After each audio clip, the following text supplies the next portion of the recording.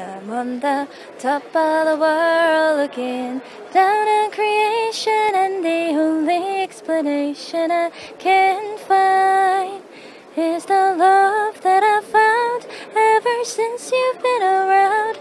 Your love's put me at the top of the world. 我觉得他是蛮厉害，在唱歌上是很有天赋，而且他说他都没有学过唱歌， 我是蛮惊讶的。企鹅妹开金口，天桑融化众人。阿七帮筹备单曲，夸他有天赋。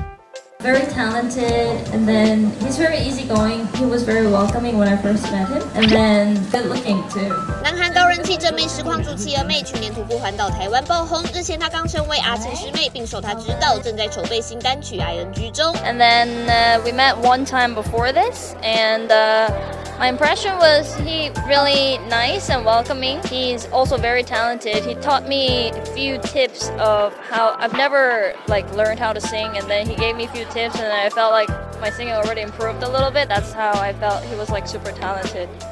No, I don't think he was strict. He did.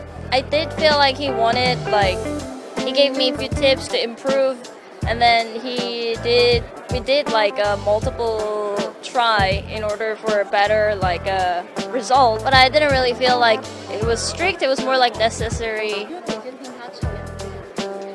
Oh i'm nervous. Nervous?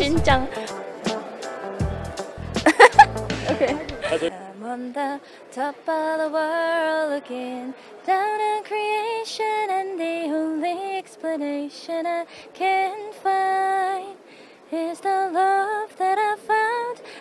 since you've been around. Your love's put me at the top of the world. 谢尔妹的声音是，她蛮多变的。谢尔妹很，我觉得蛮特别的、哦，就是她是慢歌非常会唱。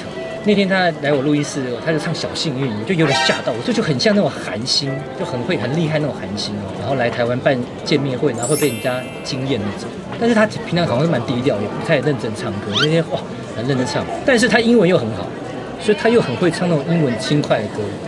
所以我们就觉得，哎、其实还蛮有趣的。对，是真的会唱的，就不是玩玩那种。